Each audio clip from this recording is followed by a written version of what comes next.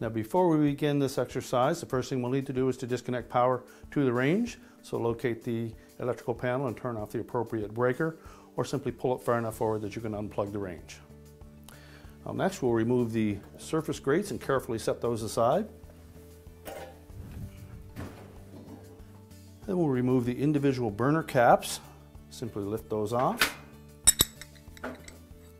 Now with the burner caps removed, next we'll need to remove each of the individual burners. Some may be fastened to the main top with screws and others may simply lift off. Now with the burners removed from the main top, we can inspect the burner base or support and on some models you'll see that they are attached to the main top as well. On those models you will need to remove the screws that secure the support to the main top and then we'll prepare to lift the top up away from the range.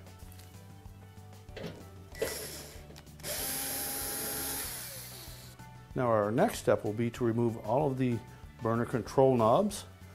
Typically those will just pull right off of the valve stem. Now our next step will be to remove the control panel fascia.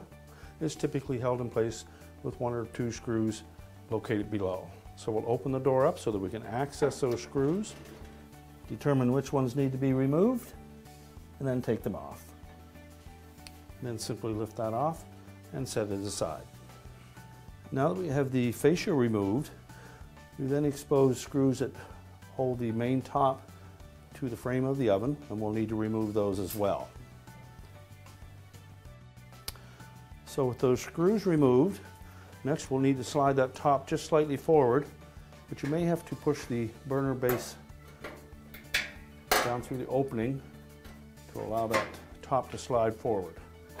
Now with the main top and our fascia removed, we now have access to all of the components that are involved in the spark ignition for the surface burners.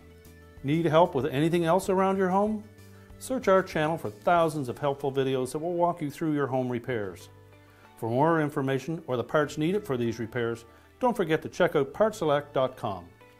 Thank you so much for watching this video. We hope you found it helpful and be sure to subscribe so you don't miss a thing.